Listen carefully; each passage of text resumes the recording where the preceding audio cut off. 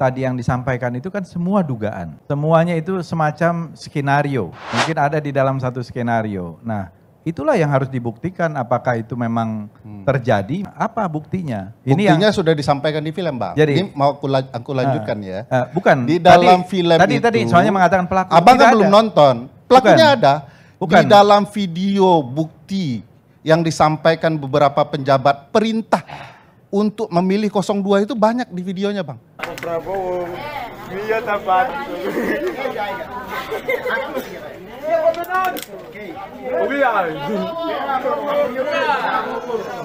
Prabowo, Presiden NKRI. Oh. satu di mana? Mas, verá, Antonio, viene y kooperatif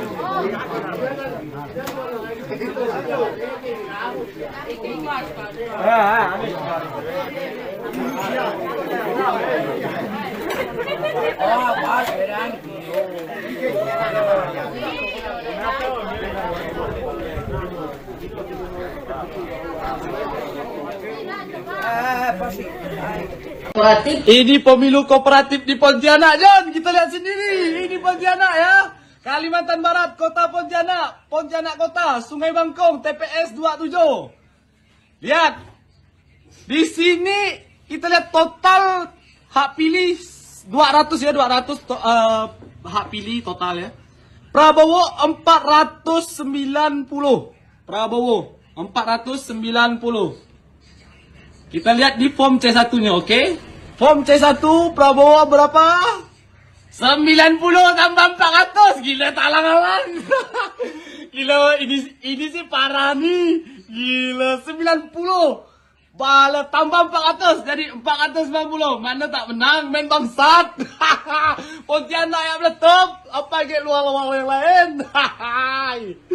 kacau, kacau. Ya itu dilaporkan saja, tetapi yang Ya. jelas jangan Nah, jangan Bang. menganggap rakyat Nah, kita maka- begini. Makanya selesaikan. Jangan Supaya abang rakyat- tidak terlihat salah Bukan, betul, bukan. saya akan ceritakan. Ini kan- Untuk pelaporan di Bawaslu sudah dilakukan Oke. dan Bawaslu tidak bertindak. Bukan begini. Yang saya ingin sampaikan adalah masyarakat atau kepala desa ya. Masyarakat kita juga cerdas. Iya. Ya, saya jangan bilang, juga saya selalu tidak bicara masyarakat yang dengan cerdas. adanya bansos, saya bicara masyarakat cerdas maupun yang bermasalah kepala yang desa. mengikuti nah, kalau ada, kepentingan politik. Ya memang harus diproses. Nah, jadi menurut Ya, Bang Fadli bahwa bansos itu nggak ada hubungan sama politik. bansos itu kan diputuskan oleh DPR partai. Nggak, nggak, ini Anda 2019 bilang dana bansos dalam Pilpres Fadli syarat motif politik. Ini 2019 nih. Bukan, itu diputuskan Ini oleh ada DPR. faktanya bahwa, bahwa Bang Fadli mengatakan bahwa dana bansos 2019 ada Bisa politik. diselewengkan, bisa dikorupsi, Minta Pak. Jokowi menghentikan Itu 17 sa- triliun, 15 bukan. triliun. Bisa Sekarang diko- 400 triliun. Bisa dikorupsi. Masa Bang Fadli nggak komen bahwa ini Bukan. adalah syarat politik? Bisa dikorupsi juga itu bisa. waktu jadi korban. Sekarang Bukan kalau loh, saya- makanya sekarang jadi pelaku bisa Saya jadi. katakan- Jadi gini, ini dalam teori Minangkabau maksud saya begini. yang diakui oleh kampung Bang Fadli dan maksud saya begini Bang. Fadli, kita nih sama-sama orang Minang nih Bukan, bertiga, bahwa bukan. tolong konsisten lah, tolong konsisten. Malu kita sama saudara kita di ranah Minang sana. Politisi Minang itu berkelas, punya harga diri gitu loh. Dengar dulu ya. Kalau kita lihat Dengar, bansos itu dulu, diputuskan Pak bersama, Fadli. tunggu, Fadli, diputuskan dengar. secara bersama di DPR. Dan menterinya saja dari PDI Perjuangan. Iya kenapa abang mengatakan 2019 itu syarat politik 15 triliun, sekarang 400 triliun. Ya, ketika itu, kenapa?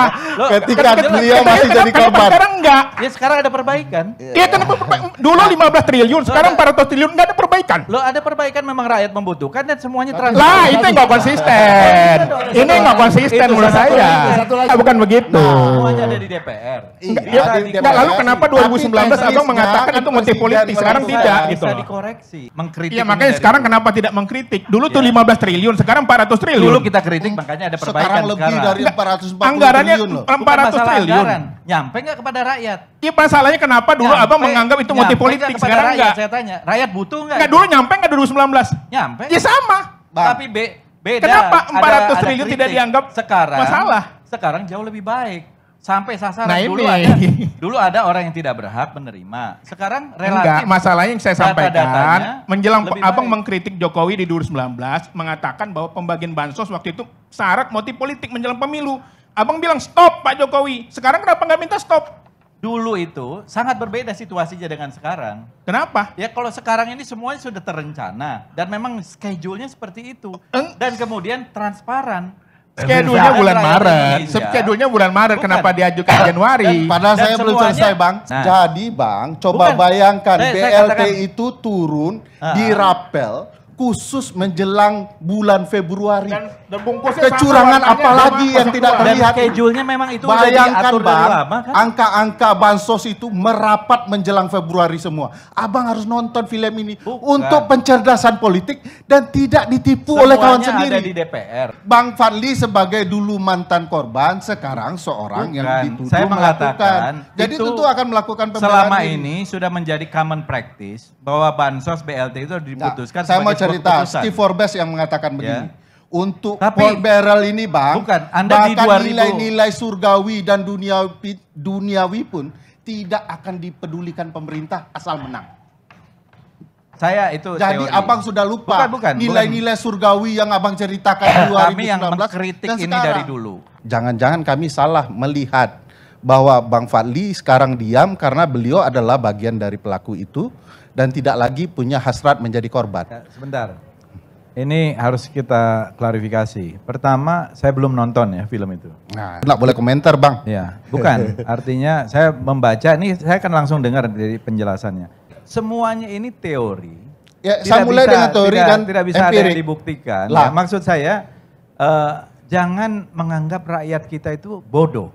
Saya Seolah-olah- tidak pernah menganggap Bukan, rakyat bukan. kita bodoh. Seolah-olah, rakyat seolah-olah rakyat kita itu dipengaruhi sedemikian rupa, diperintahkan. Jangan juga Nggak, menganggap Bang. kepala desa kita itu problematika bodoh. gentong Kepala babi desa kita itu ini tidak hebat-hebat. terjadi hanya di Indonesia. Nggak, nggak bisa juga kepala desa Problematika gentong babi bukan. itu dari tahun 18 bang. Loh iya, di Amerika juga masih berlaku Iya, sampai hari iya, ini. sampai hari ini. Tapi bukan itu maksud Dan saya. itu dianggap sebagai politik curang. Semua teori-teori Abang belajar itu- kan soal itu? Loh, ngaku nggak abang itu sebagai politik Pork curang? barrel itu di Amerika sah kok. Eh, siapa bilang sah bang? Ada, ada aturannya.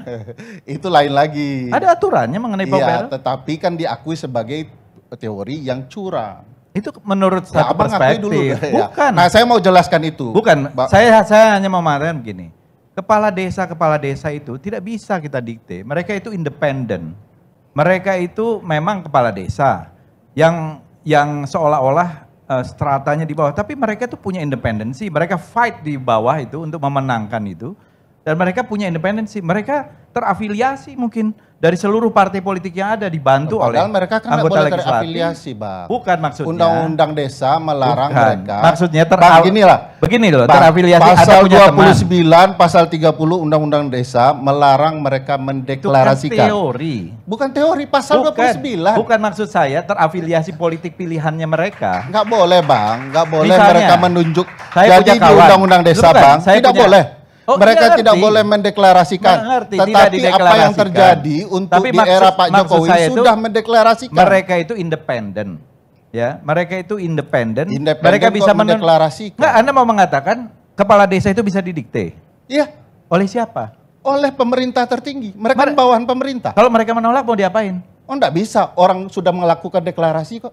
Bukan kalau mereka Kalau menolak. kan itu bukti. Misalnya ada ada misalnya upaya Lah, untuk Abang saya jelaskan fakta empirik, abang lari ke teori. Bukan. Saya, Saya cerita hanya teori, mau- abang saya cerita hanya empirik. begini. Abang yang benarnya di mana? Kalau- Begini, Ini ada fakta. dua, ada dua. Ini satu, faktanya. satu Ini kepala fak- desa. Bang, jangan membahas Bukan, teori. bukan. Abang Kepala jawab desa- dulu, kepala desa boleh mendeklarasikan dukungan atau tidak?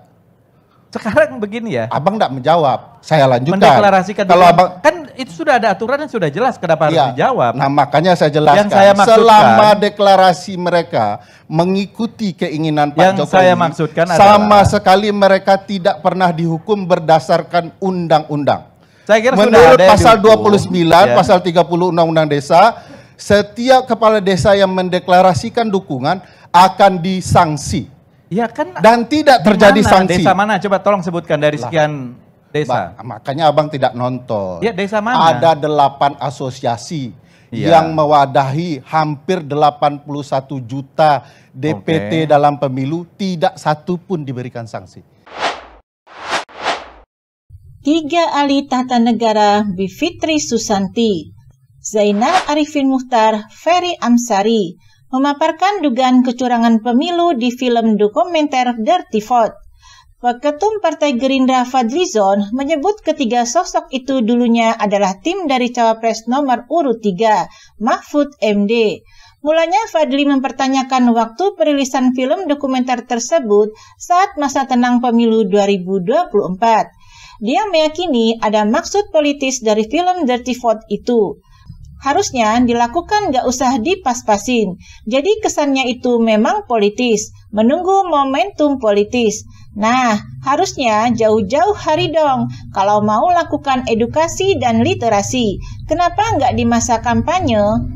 Kenapa nggak dari sebulan yang lalu? Kenapa nggak dari dua bulan yang lalu? Ujarnya. Kritikan seperti itu dinilainya hal yang biasa. Apalagi tiga edisi pemilu sebelumnya, Fadli mengaku menjadi orang yang kerap melayangkan kritik. Kenapa harus menunggu momen di masa tenang? Itu kan tidak bijak begitu. Kalau menurut saya, padahal kritik itu biasa-biasa aja. Saya mengkritik udah tiga pemilu belakangan ini. Gak ada apa-apanya kritik mereka dengan kritik saya dulu. Sambungnya. Menurut Fadlizon, kritik bagus untuk mengawal demokrasi. Meski demikian, ia mempertanyakan mengapa kritikan baru diungkap sekarang, jelang pemungutan suara. Ini masukan-masukan itu bagus, tapi harusnya jauh-jauh hari. Kalau saya mengkritik soal pemilu itu dari tahun 2009, 2014, 2019. Kita nungguin akademisi ini dari 25 tahun yang lalu sebenarnya, tapi baru bunyi belakangan. Tapi fungsi intelektual akademisi penting untuk memberikan masukan, memberikan kritik untuk perbaikan-perbaikan ke depan, katanya. John kemudian menyebut tiga pakar di dalam film pernah menjadi bagian dari tim percepatan reformasi hukum di bawah ex-Menko Polhukam Mahfud MD. Termasuk saya mention juga di X gitu. Ternyata dulunya adalah tim Pak Mahfud. Ya, nggak ada masalah juga. Ini sebuah kebetulan yang presisi saya bilang. Nggak ada masalah kita sih. Tapi sesungguhnya kalau kita percaya kepada kedaulatan rakyat, serahkanlah pemilu ini kepada rakyat, katanya. Perlu diketahui, tim percepatan reformasi hukum dibentuk oleh Mahfud MD saat masih menjabat sebagai Menko Polhukam. Faktanya, tim percepatan reformasi hukum dibentuk atas arahan dari Presiden Jokowi untuk mengatasi carut-marut hukum di Indonesia. Mengutip hukum online, pembentukan tim tersebut tertuang dalam keputusan Menko Polhukam nomor 63 tahun 2023 tentang tim percepatan reformasi hukum. Belait tersebut ditetapkan 23 Mei 2023 dan memuat 8 poin utama, termasuk mengatur tugas tim untuk menetapkan strategi dan agenda prioritas mengkoordinasi kementerian atau lembaga, serta mengevaluasi empat agenda prioritas empat agenda prioritas yang perlu dievaluasi, yakni reformasi lembaga peradilan dan penegakan hukum, reformasi hukum sektor agraria dan sumber daya alam, pencegahan dan pemberantasan korupsi, serta reformasi sektor peraturan perundang-undangan. Dari tim tersebut, Bivitri Susanti, Zainal Arifin Muhtar, dan Ferry Ansari masuk dalam anggota kelompok kerja reformasi sektor perundang-undangan. Tim-tim tersebut ditugaskan untuk merumuskan naskah akademik dan rancangan kebijakan hukum, menetapkan strategi dan agenda prioritas, mengoordinasikan kementerian atau lembaga, juga mengawasi agenda prioritas. Mengutip laporan final tim percepatan reformasi yang diunggah polkam.go.id pada 14 September 2024, disampaikan bahwa tim tersebut dibentuk atas perintah Presiden Jokowi. Jokowi memberikan perintah untuk Menko Polhukam untuk membentuk tim percepatan reformasi hukum karena banyaknya peristiwa yang menodai dunia hukum Indonesia secara berulang. Meskipun pemerintah melakukan berbagai upaya perbaikan, namun hukum terus diabaikan dan menciptakan pandangan negatif dari masyarakat. Carut-marutnya hukum di Indonesia juga tampak dari data statistik Indeks Demokrasi, Indeks Negara Hukum, dan Indeks Persepsi Korupsi Indonesia yang memberikan hasil tidak menggembirakan. Oleh karenanya, Jokowi merespon berbagai permasalahan tersebut dengan memerintahkan Menko Polhukam membentuk tim percepatan reformasi hukum. Tim itu dimaksudkan untuk perbaikan fundamental di bidang hukum, sehingga Indonesia sebagai negara hukum benar-benar dapat mewujudkan tujuan negara untuk melindungi segenap bangsa Indonesia dan seluruh tumpah darah Indonesia, memajukan kesejahteraan umum, dan mencerdaskan kehidupan bangsa sebagaimana amanat Undang-Undang Dasar 1945. Saat masih menjabat sebagai Menko Polhukam, Mahfud MD telah menyerahkan hasil dari tim percepatan reformasi hukum. Saya terima hasilnya yang secara umum bagus. Presiden memang melihat adanya urgensi untuk mereformasi bidang hukum yang kemudian meminta Menko Polhukam melakukan pembenahan dan tindak lanjuti termasuk dengan membentuk tim percepatan reformasi hukum ini yang hasilnya akan segera kita sampaikan kepada Bapak Presiden ujar Mahfud pada Selasa 12 September 2023 dikutip dari laman resmi Menko Polhukam. Dengan begitu, dapat disimpulkan bahwa tim reformasi percepatan hukum adalah tim bentukan Menko Polhukam atas rekomendasi dari perintah dari Presiden Jokowi, bukan bagian dari tim Mahfud MD dalam kontestasi Pilpres 2024.